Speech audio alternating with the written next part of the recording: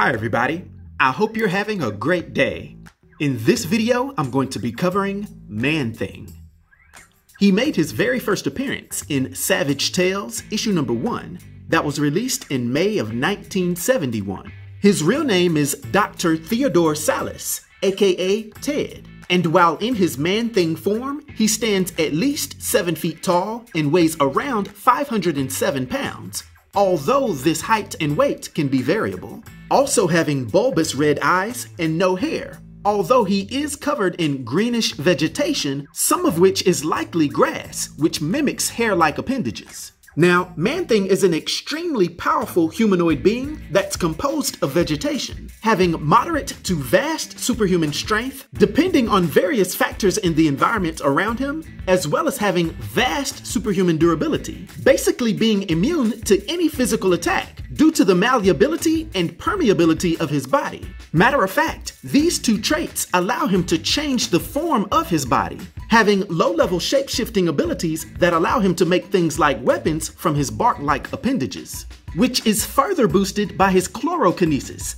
being able to control and manipulate any plant life around him. Now, he can also use this ability to regenerate or reconstitute his body from the same plants, particularly the plant life found in swamps. If this wasn't enough, Man-Thing's connection to the massive energies from the nexus of all realities gives him the ability to teleport himself and others between different locations and even other dimensions. And it's also worth noting that although for the most part Man-Thing has never been able to speak, more recently he's been given the ability to speak the universal language of X'zelzi'ohr, which allows every sentient being to understand what he's saying in a way, tone, and accent that's appropriate for them. And he also has an extremely powerful burning touch, but I'll touch on that later.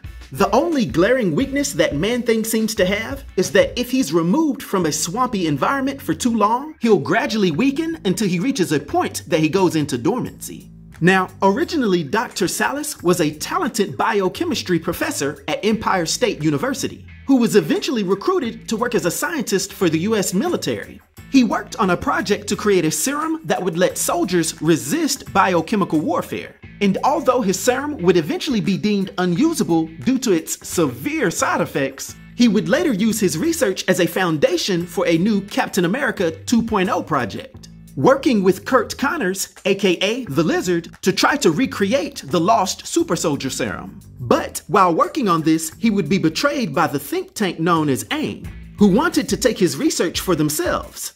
And fearing that his work would fall into the wrong hands, Sallis would destroy his notes, inject himself with the only sample of his new serum, and would flee. But as he was being chased away from his facility, he would crash his car into the swampland surrounding his lab, which seemingly took his life. However, unknown to him, the area around his lab was close to the nexus of all realities, which is a mystical gateway that links all the different dimensions of existence.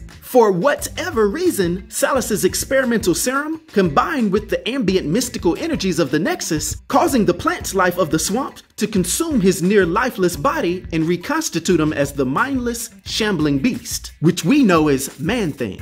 This new powerful being doesn't have a typical intellect or consciousness like other humans do, instead, acting more empathically on instinct depending on his surroundings. He now seems more mindless and typically only reacts to the emotions of those around him, with the emotion of fear causing Man-Thing extreme pain, which in turn will lead him to travel sometimes great distances from his swampy home to put an end to any source of the fear that causes him distress. And this happens to be unfortunate for any of the evil, fearful souls that he comes across, because a particular quirk of his chemistry makes his body give off an extremely powerful, almost sulfuric acid like burn to any fearful being that touches him.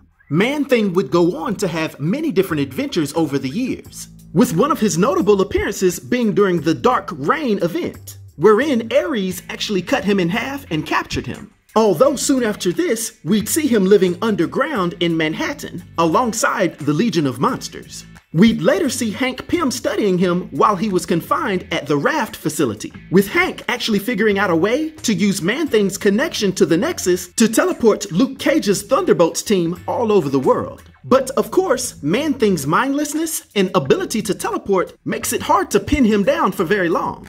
And we'd later see him have a major appearance during the Fear Itself event, with Howard the Duck actually having to form a powerful Fearsome 4 team to stop Man-Thing's rampaging due to the fear that was prominent in the world at that time. We'd even go on to see Man-Thing temporarily used by S.H.I.E.L.D., and it even make an appearance in the Phoenix Force related White Hot Room.